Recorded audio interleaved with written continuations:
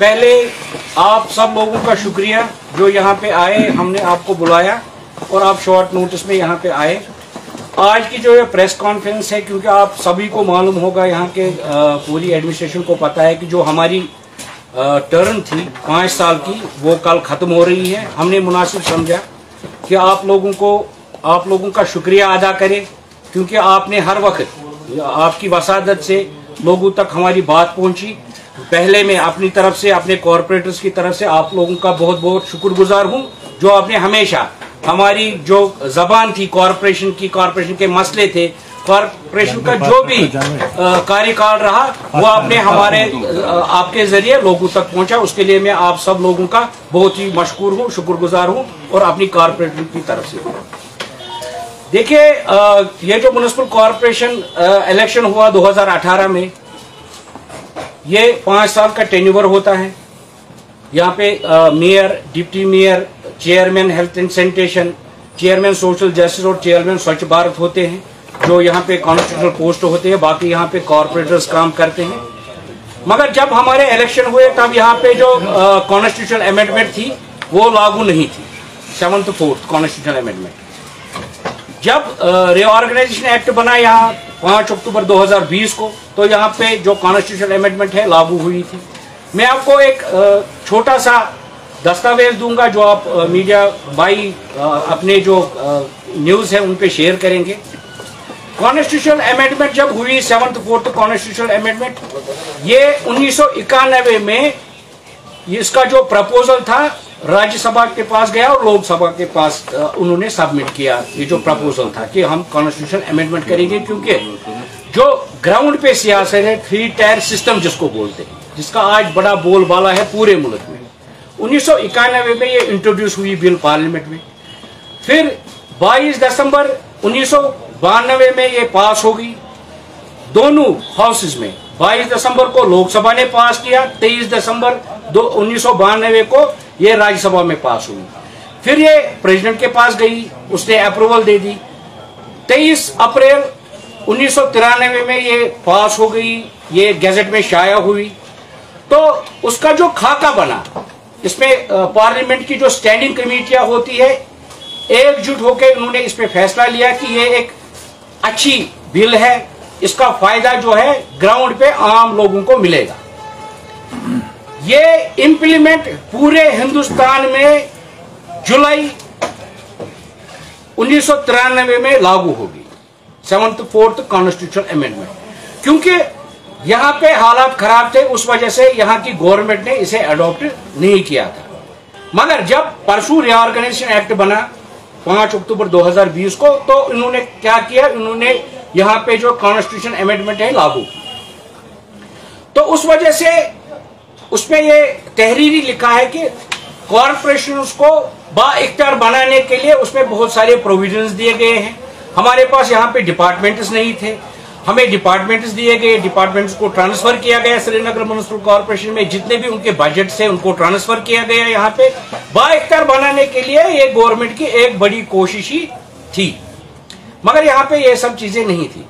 जब ये constitution amendment यहाँ पे लागू हो गई तो इस कॉन्स्टिट्यूशन अमेंडमेंट में बाजाबता ये चीज़ें लिखी है कि इस कॉरपोरेशन का टेन्योवर कितने साल का होना चाहिए और मैंडेट इस कॉरपोरेशन को कितना है और यहाँ पे जो पावर्स डेलीगेट किए हैं गवर्नमेंट ने। मैं आपको बता दूँ कि आपकी वसादत से लोग यहाँ पे सुन रहे हैं कि बहुत सारी तंजीमें ऐसी है जो यहाँ पे ये सब कह रहे हैं कि जब तक ना इलेक्शन कमिश्नर ऑफ़ इंडिया यहाँ पे इलेक्शन के फैसले लेंगे या डेट मुकर करेंगे, तब तक कश्मीर में इलेक्शन नहीं होंगे।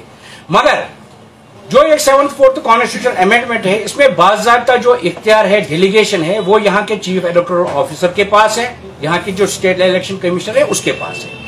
ये डिसीज़न लेना चाहे पंचायत के इलेक्शन हो चाहे यूएलबीज के इलेक्शन हो या कॉरपोरेशन के इलेक्शन हो ये mandate chief election commission of India का नहीं है।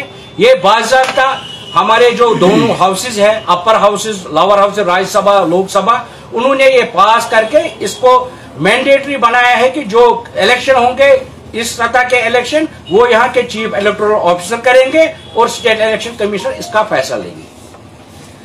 उसमें टेनवर का लिखा है टेनवर पाँच साल का होना चाहिए। उसमें बाजाबता ये लिखा है कि जो टेनवर खत्म होने से पहले यहाँ पे mandatory seventh fourth constitution amendment में है कि वो मैंडेटरी यहाँ पे इलेक्शन करवाए। हमें भरोसा था। हम एक्सपेक्ट कर रहे थे कि गवर्नमेंट से कि गवर्नमेंट यहाँ पे टाइमली इलेक्शन होंगे यूएलबीज के, पंचायत के, जो भी इलेक्शन होंगे, वो होंगे टाइमली होंगे। मगर अफसोस से कहना पड़ रहा है कि जो कॉन्स्टिट्यूशन उन्नीस सौ तिरानवे में बनाया गया, जो अमेंडमेंट तिरानवे में हुई, जो पूरे मुल्क में लागू है, जिसका लाभ पूरा हिंदुस्तान उठाता है। बगैर कश्मीर के मुझे नहीं लगता है किसी जगह वायलेशन होगी। कॉन्स्टिट्यूशन अमेंडमेंट की। आज हम देख रहे हैं कि हमारा टेन्योवर कल से खत्म हो रहा है। गवर्नमेंट को मैंडेटरी कॉन्स्टिट्यूशन अमेंडमेंट पर बताया गया है कि वो टर्म खत्म होने से पहले ही इलेक्शन का इनका करे, हर जगह। और उसमें यह भी एक प्रोविज़न दिया गया है कि अगर किसी जगह, किसी म्यूनिसिपल कॉरपोरेशन को डिसबैंड कर दिया गया तो उस समय गवर्नमेंट के पास छह महीने होते हैं कि छह महीने के अंदर अंदर वहाँ पे इलेक्शन हो।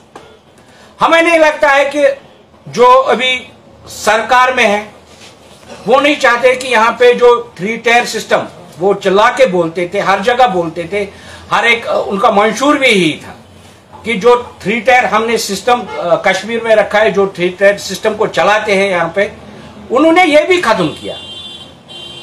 लोग इससे ज़्यादा परेशान होंगे। लोग इससे नाला हैं। पॉलिटिकल क्लास यहाँ पे इससे नाला है। वो चाहते थे कि यहाँ पे इलेक्शंस हो। आपको पता है, यहाँ पे स्टेट असेंबली नहीं बनी है अभी। जब से रिऑर्गेनाइजेशन एक्ट बना, जब से 370 टूटा, यहाँ के कब के इलेक्शन हुए? 2014 के इलेक्शन हुए हैं। अभी नौ साल हो गए इलेक्शन नहीं हुए। लोग इस चीज़ से परेशान होंगे।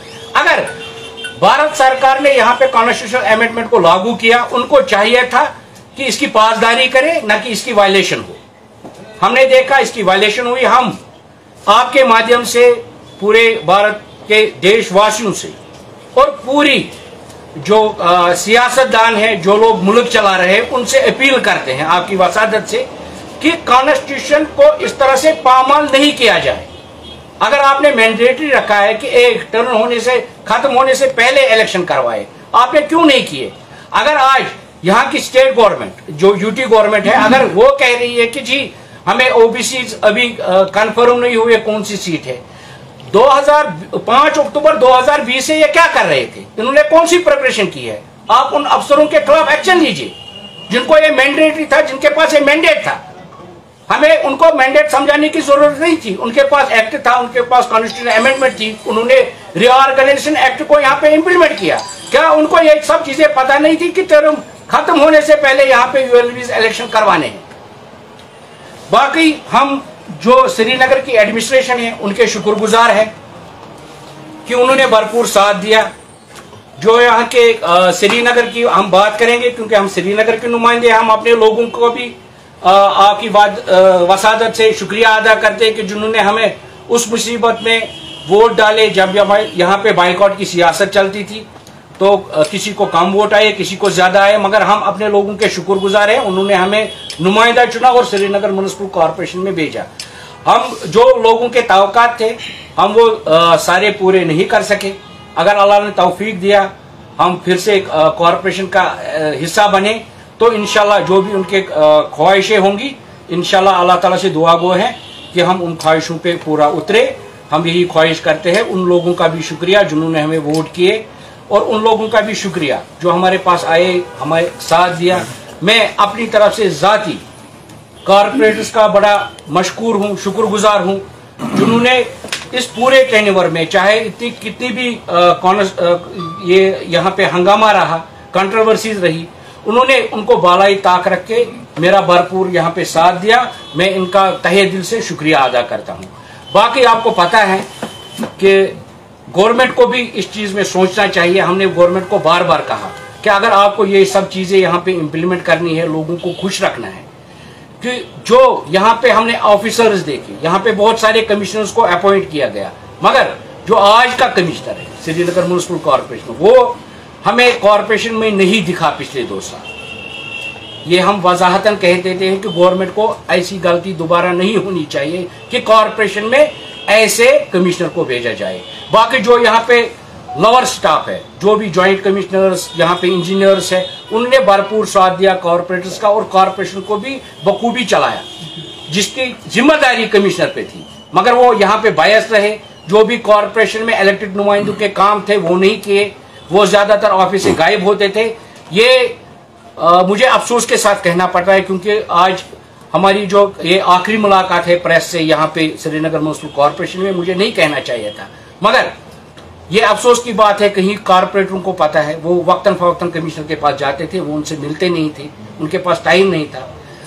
गवर्नमेंट से भी इस्तदा करते हैं कि जब यहाँ पे अब कॉरपोरेशन का इलेक्शन हो, ऐसे अफसरों को कॉरपोरेशन में तैनात नहीं किया जाए। सर